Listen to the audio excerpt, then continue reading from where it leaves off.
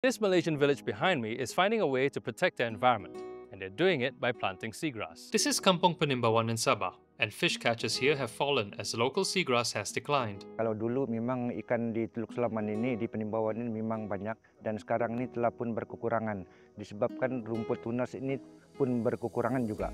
Now, villagers are replanting seagrass to bring back fish stocks and secure their livelihoods. So this area that we're standing on right now is actually naturally existing seagrass habitat.